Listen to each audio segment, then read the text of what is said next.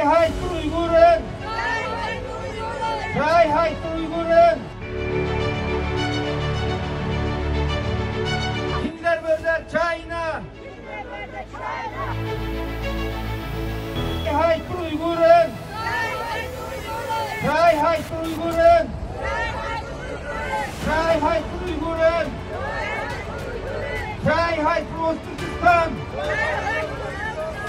জয় হয় পূর্বস্তুতিস্থান Kindermörder China! Frauenmörder China!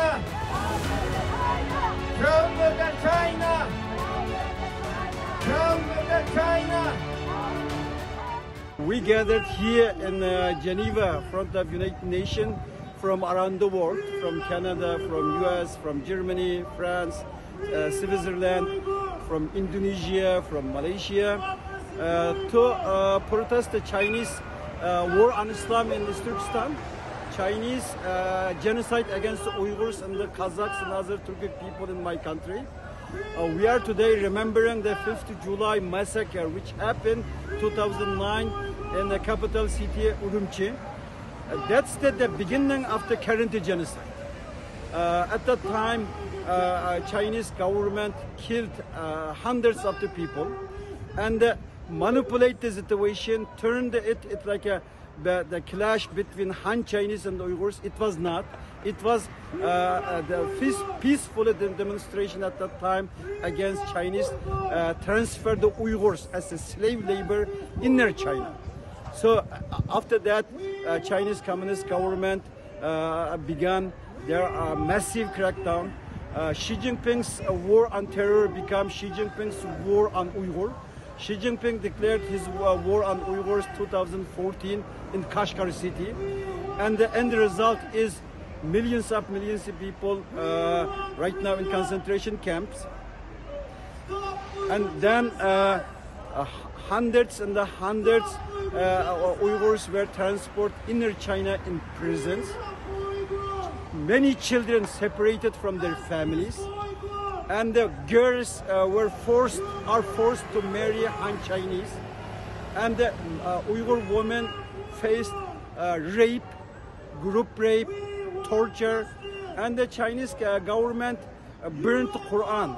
And as a state, it's not individual, you know, as a state, Chinese Communist Party burned the Quran and they destroyed the mosques and they banned the Uyghur language since September 2017.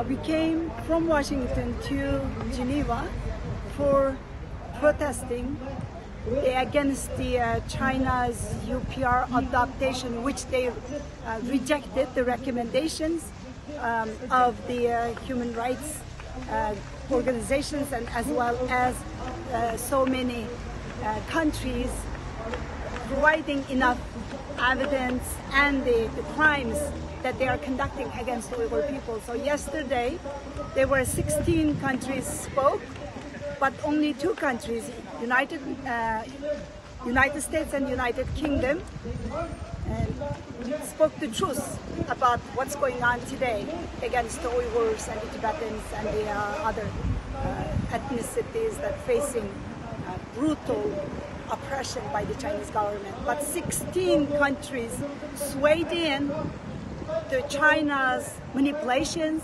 and disinformation, as well as they played uh, appeasement policies.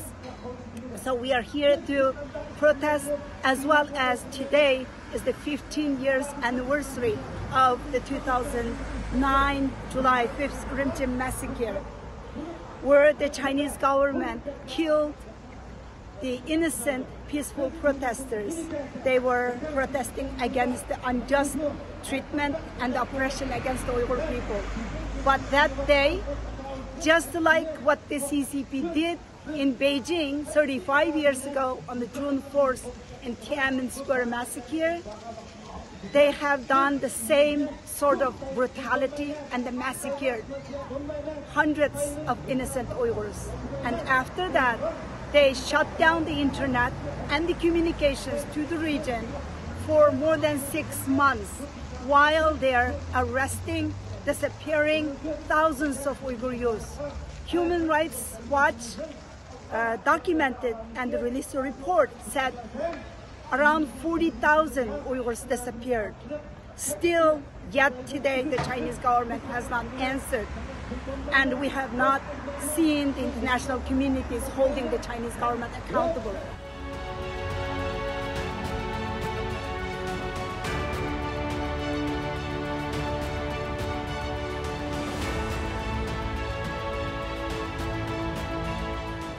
I'm here today um, at the uh, Place des Nations in front of the UN to commemorate the 15th year anniversary since the Urumqi massacre. The Urumqi massacre started on July 5, 2009, when thousands of Uyghur students, mostly youth, took the streets of Urumqi to protest against the Chinese government's oppressive regime, and also for neglecting the death of two Uyghur workers in um, a Chinese province a few days earlier. So today we commemorate the victims who disappeared, who died, who were arrested during that summer. A summer where I was actually in Urumqi and witnessed some of those atrocities. China terrorist! China terrorist! China terrorist!